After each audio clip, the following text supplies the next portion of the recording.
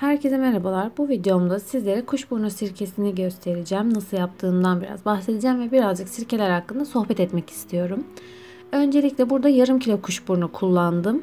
Ee, yarım kilo kuşburnu için gene diğer malzemeler aynı. 2-2,5 yemek kaşığı bal, yarım çay bardağı e, doğal sirkeyle ve birazcık da su eklemesiyle karıştırıp bekliyoruz kurulumu diğer sirkelerle aynı. Tabi başlamadan önce sirke yapımına başlamadan önce meyveleri eziyoruz. Ee, diğer videolarımda da birçok kez bahsettim. Ben meyvelerin ezildiği zaman e, aromasını daha iyi verdiğini düşünüyorum. Hatta bunun çekirdekleri kırılsaydı daha iyi olacaktı ama e, çok sertti çekirdekleri kırılmadı. E, mikser işte ne derler blender robot bunları kullanmadım metal değmesin istedim. O yüzden böyle kalın bir ahşap oklava ve e, ekmek kesme tahtası üzerinde e, tek tek uğraş, uğraşmayı tercih ettim ben. E, bu tarz sirkeleri hep soruluyor. Nerede, nasıl kullanıyorsunuz? Yani mesela nar sirkesini salatada çok e, kullanabilirsiniz. Çok lezzetli olabilir. İşte elma sirkesini genelde e, ilaç niyetine işte gargara yapmada, buruna çekmede sulandırıp bu şekilde kullanabilirsiniz. Normal yaptığınız mandalina, portakal, gül yaprağından elde edilen sirkeler, limondan veya limon kabuğundan elde ettiğiniz sirkeleri cilt temizliğinde kullanabilirsiniz. Tonik e, niyetine veya işte maske yaptığınız, bakımlar yaptığınız yüzünüzü sıkılaştırmak için bunları kullanabilirsiniz. Bir pamuk yardımıyla sürerek yüzünüze. E, ama bu tarz kuşburnudur, işte C vitamini bol olan e, ne olabilir? Bal kabağı sirkesi, e, Trabzon hurması, cennet hurması sirkesi gibi sirkeleri de hastalık zamanlarında e, çok rahat kullanabilirsiniz. Hatta limonlu zencefilli sirkemiz var bizim sayfamızda yayında olan hali hazırda. E, onu deneyimledim, tecrübe ettim. E, yani bir günde tüm o öksürüktür, işte burun akıntısıdır, hapşırmadır onları %90'a yakın geçiriyor, etki ediyor. E, onu da o, o şekilde kullanabilirsiniz. Şöyle sirke anısını nasıl kullanabiliriz diyorsunuz. E, yani sirke anısını eskiden köylerde e, yani bir insanın bir yeri yandığı zaman direkt onu e, yapıştırırlarmış o yanan bölgenin üzerine onu koyarlarmış. Acısını ağrısını çok çok e, rahatlatıyormuş yanık bölgenin. Ama biz şu an e, mesela sirke içmeyi sevmeyenler olabiliyor. O yüzden onu e, kaşıkla yutabiliyorlar. Hap gibi düşünün. E, işte bir çay kaşığı veya kişiye göre büyükse bir tatlı kaşığı onu böyle e, direkt yutabiliyor. O, e, o da kendiliğinden tabii ki şifa kaynağı. Bu şekilde sirkeleri biz bu şekilde kullanıyoruz. Genelde işte ilaçlık, günlük kullanım. Mesela e, elma sirkesini hastalıkta falan dedim ama daha çok aslında temizlik için de kullanılıyor ve bu yüzden bol bol yapılan sirke çeşidi genelde elma sirkesi olur. Öncelikle e, ağzınıza çalkaladığınız zaman yani bu ağız çalkalama suları gibi kullandığınız zaman 2-3 günde dişlerinizin bir iki ton beyazladığını göreceksiniz. Gerçekten çok hızlı bir şekilde etki ediyor. Özellikle benim gibi çay kahveyi çok fazla içenler varsa hani o çayın ve kahvenin verdiği sarılığı anında alıyor. E, ama tabii ki de bunu düzenli kullanmanız gerekiyor. E, yani günde iki kez falan kullandığınız zaman üçüncü günde gözü görülür bir fark elde ediyorsunuz. Bunun haricinde e, içerisindeki e, şeylerden dolayı, özelliklerden dolayı kendi elmanın bu yüzey temizlemelerinde işte e, normal işte bulaşık suyuna falan kattığınız zaman da veya makinenizin o bulaşık makinesinin gözüne kattığınız zaman da çok güzel sonuçlar elde ediyorsunuz. Hatta kimileri e, bunları da paylaşacağım. Araştırıyorum şu an. E, kullanıp kullanıp paylaşıyorum ben bu videoları. E, kendi bulaşık deterjanını evde yapıyorlar. Üstüne işte limon sirkesi ve limon kabuğu falan kullanıyorlar. Çok çok güzel sonuçlar almışlar. Onları da deneyip e, en kısa sürede paylaşacağım sayfamda.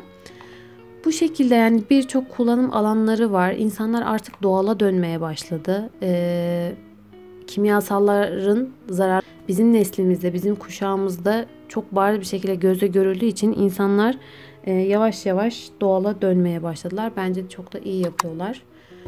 O yüzden e, sirke yapımıyla başladım ben. Başka insanlar başka şekilde başlayabilir. Belki sabunlarla, belki şampuanları bırakarak.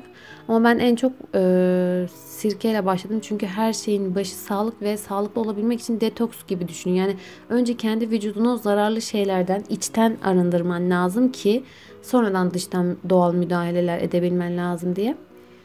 Benim e, bu videomda bu şekilde size dediğim gibi altına yazacağım tekrardan ne yaptığımı adım adım. E, açıklamalar kısmında da e, direkt malzemelerini işte yapılış şeylerini bulabilirsiniz. Bu videonun sonunda da daha önceden kurmuş olduğum cennet hurması sirkesinin süzümünü ve oluşturduğu anayı göstereceğim size. Hani e, kef küf olaylarını çok soruyorsunuz. Ana mı değil mi çok karıştırıyoruz diyorsunuz. Size gerçek bir anayı göstereceğim. Gerçi diğer videolarımda da göstermiştim. Zaten bir ana olacağı zaman e, bunun evet çok çok incesi olabilir bu ananın ama inanın işte parmağınızı değdiğiniz zaman dağılmaz. O bir ne derler şimdiki slime gibi yani e, şeffaf deniz anası gibi aslında ona benzetebiliriz. Yani parmağınızı dokunduğunuz zaman dağılıyorsa zaten bu ya keftir ya küftür. E, ya da sütün kaymağı gibi aldığınız zaman bir bütün halinde çıkıyor sirke anası. E, o yüzden onu da detaylı bir videosunu koydum e, bu videonun sonuna. E, iyice görebilirsiniz. Zaten büyük ihtimalle ana oluşturuyorsa siz e, eğer bir müdahale yapmazsanız kalın bir anaya dönecektir bu. Sadece yapmanız gereken meyveler dibe çöktüğü zaman beklemek. Evet bu videom bu kadardı. E, diğer videolarda görüşmek üzere. Hoşçakalın.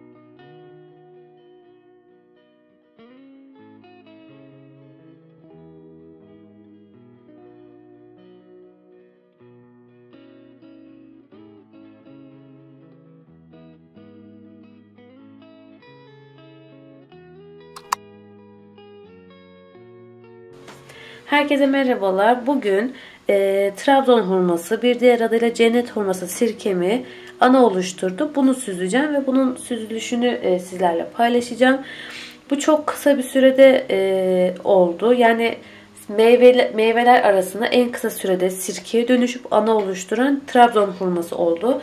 E, yaklaşık olarak 25 günde falan hemen ana oluşturdu bu kadar kalınlıkla bir ana. Dün ben biraz e, yerini değiştirirken falan şurada biraz zede verdim anayı ama e, bugün süzeceğimiz için çok bir sıkıntı olmayacak. Evet şimdi süzüm aşamasına geçelim. Öncelikle e, anayı alıp ayrı bir kaba koyup o şekilde muhafaza edeceğiz. Evet sirkemizi sirke anamızı daha doğrusu alamadık. Biraz Şimdi size göstereceğim. Kim?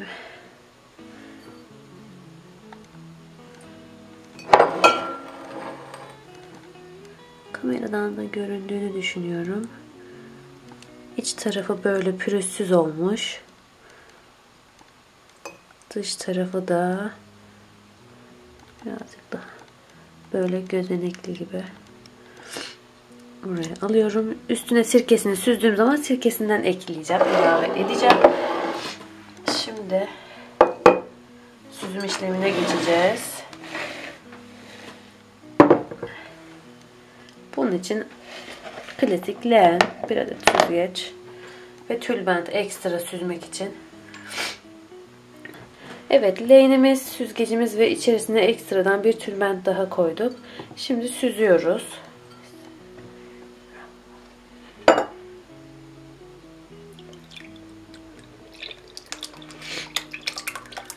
İçerisine tuz atmadım. Tuz eklemeyi de düşünmüyorum. Bu şekilde muhafaza edeceğim. 3-4 ay kadar daha. Zaten 2-3 olmadan da az bir sirke çıkıyor. Ee, şöyle bir cam şişeyi bakalım ne kadarını dolduracak.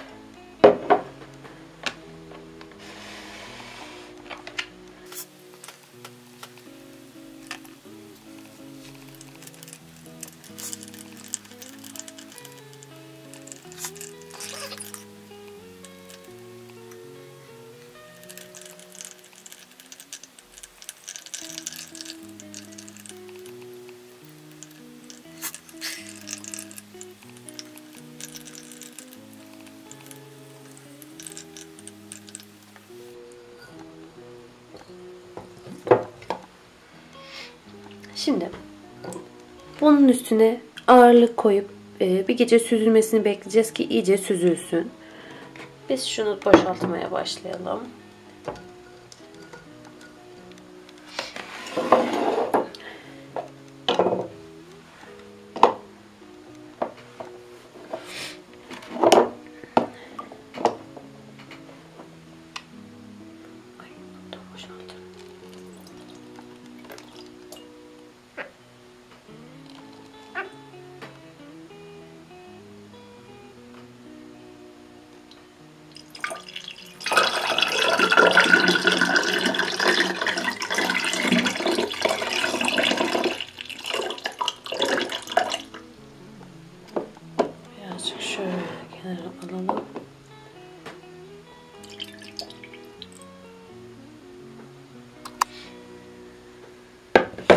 Kaç? 330 milim. 2,5 hurmadan yani 2 ya da 3 hurma vardı tam hatırlayamıyorum. 330 milim sirke elde ettik. Çok çok az bir e, su ilave ettim o kadar. Çoğunluğu kendi suyu. Tuz eklemedim. Anamız da burada. Bunun üzerine birazcık